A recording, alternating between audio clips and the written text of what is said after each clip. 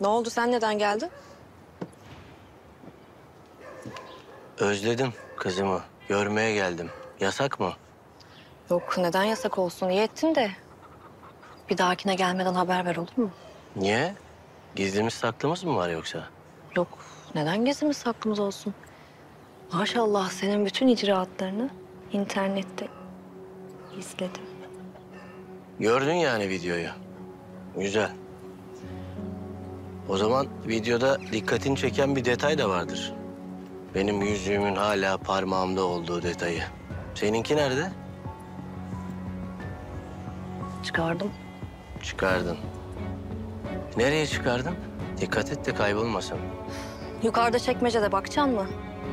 Yo sen öyle diyorsan öyledir.